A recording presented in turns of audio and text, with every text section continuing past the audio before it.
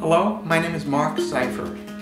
I'm the author of the Rudy Styne Quadrilogy, which are four novels which I wrote over the course of about 35 years. They're all personal stories that deal with my life. The Rasputin's Nephew is a parapsychology spy novel. I taught parapsychology for 15 years. I worked with Uri Geller, a super psychic, and uh, I've discussed that in a previous YouTube. Doppelganger and Crystal Night are uh, two books which deal with two major stories. There's a backstory which follows a Jewish family, the Maxwell family, trying to maintain their airline through World War I in Doppelganger and through World War II in uh, Crystal Night. And the modern story is ace reporter Rudy Styne uh, on the trail of a major computer hacker. He runs into his doppelganger, his double, who turns out to be German, and that will tie him to the backstory. The fourth book is called Fate Line. It's a graphological murder mystery.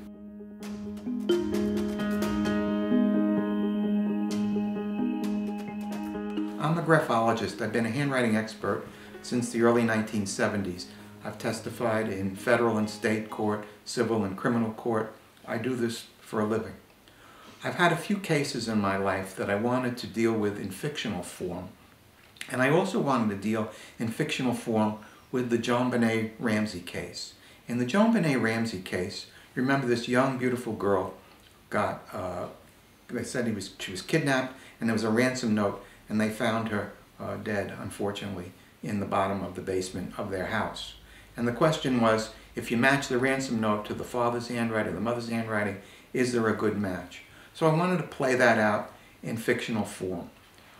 Another event which happened in my life I wanted to deal with, and this had to do with a real case from 2002. Associated Press International contacted me. They had a letter signed by bin Laden, and they wanted to know if bin Laden was really alive.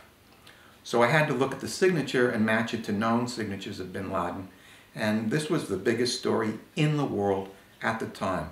There was a question of whether he had been uh, on kidney dialysis, whether he died in the bombing. No one knew. So I literally was filmed with the signature and I discussed his signature and if it was a forgery, if it was his real handwriting. And it really did go out all over the world. But the very day that it went out, there was a fellow, uh, his name was Malvo, he was part of, he was a Beltway sniper. He was in Washington, D.C. He was using a rifle and he was in the trunk of a car. He was picking off people, killing them with a rifle. And that story just knocked my story right out of the box. So I wanted to deal with that concept as well. So what prompted the book was a real event which occurred in my life, which I was going to fictionalize. I was dealing with an embezzlement case. I had a man's will and I had a number of his known signatures. So you've got the will and you've got all the known signatures. And I thought the will was a forgery. It was very close, but it wasn't an exact match. It was my belief that it was a forgery. And I'm getting ready to testify. Three days before trial, his son comes in and he gives me another whole stack of handwritings of the man's secretary signing the man's signature. Now I've got two sets of signatures. I've got the signatures of the secretary signing uh, the man's name, I've got the man's known signatures, and I've got the will. And the secretary's signatures is an exact match to the will, and she gets all the money in the will. So I've now got a slam dunk case. So we go to court with my slam dunk case, but because the information came in so late, the other side opposed it. The judge gave them 24 hours, and then 24 hours he made a ruling and he said directly to me and to my lawyer, he said, uh, Dr. Seifer, you will not use this information. It came in too late. I don't like October surprises, and you can only use the other information. So I had to deal with just my original report. So I get up on the stand, and I have to swear now.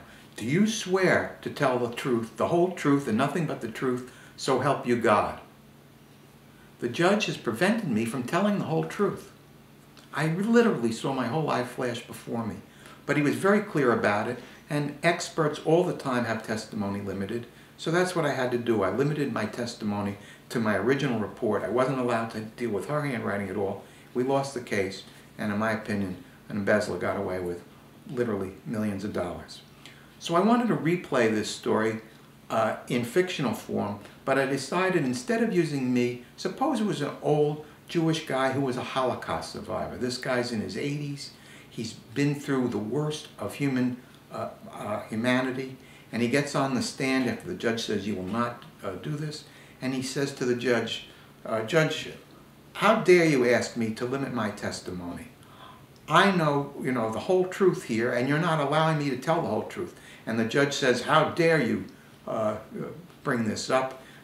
I'm citing you for contempt of court, and you're going to jail.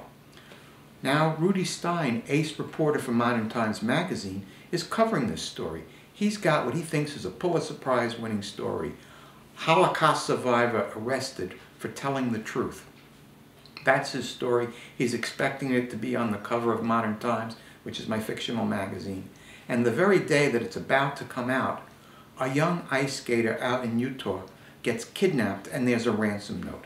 And that story, you got this pretty eight-year-old and nine-year-old girl, knocks it off the block, and so, like the JonBenet thing, he, his story is, is off the charts and, and it's gone. So he decides to fly out to Utah and he tries to uncover uh, who kidnapped this girl. And since there's a ransom note, he wants to get uh, the old graphologist out of jail and have him involved. There's also a series of murder mysteries in this. So it's a very complicated uh, novel. It has a lot of my own background in it. I also have another story, which is a love story. Uh, the old graphologist, his name is Jacob Bruno. He has a young protege, her name is Sarah Calloway. And she's a graphologist, you know, budding graphologist. And she has to testify when he's in court. And she literally bumps into a palm reader. And uh, they fall in love, but she's got mixed feelings because she doesn't believe in palm reading. So I've got a bit of palm reading in here, and I've got uh, this murder mystery. And uh, when the murderer is on her trail, she starts to travel with the palm reader, and he's traveling with a group of tarot readers and an astrologer. And there's a lot of excitement, there's a lot of fun to the story. And so that's really a, a good amount of information about Fate Line.